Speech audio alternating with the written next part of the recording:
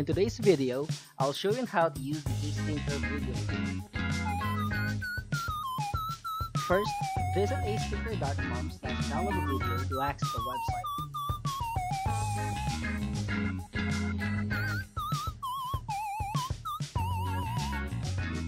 Next, click the download button and install it into your computer.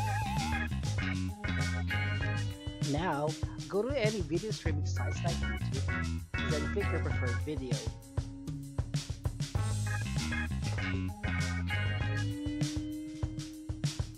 Now, copy the URL from the address box, and then click this button to paste the link.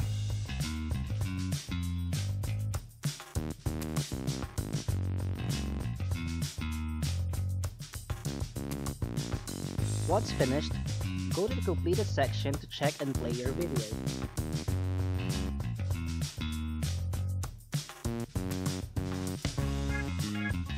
Video Keeper has a built-in detector. This feature allows you to track a video automatically. Go to the detect function. From the built-in browser, access any website you want. Select any video you want to download. Once selected, click the download button to add the video into the download list automatically.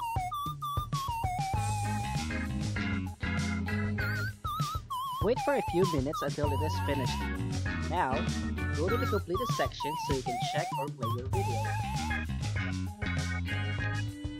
Aside from downloading, the Video Keeper also allows you to record your speed activity. Click the record bar from the top. From here, you can easily modify your recording options. Then once set up, you can start your recording.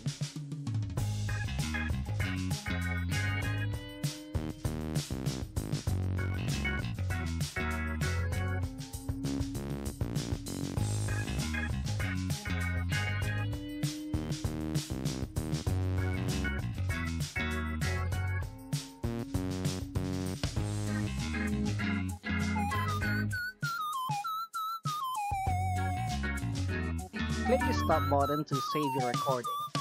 Then, you can check the screencast from the internet.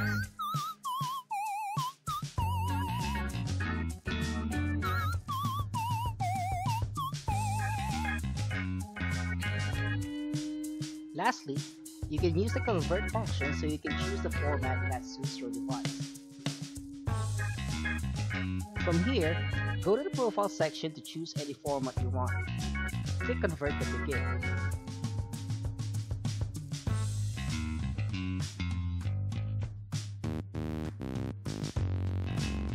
Once finished, the file folder will open for you to check and play the video.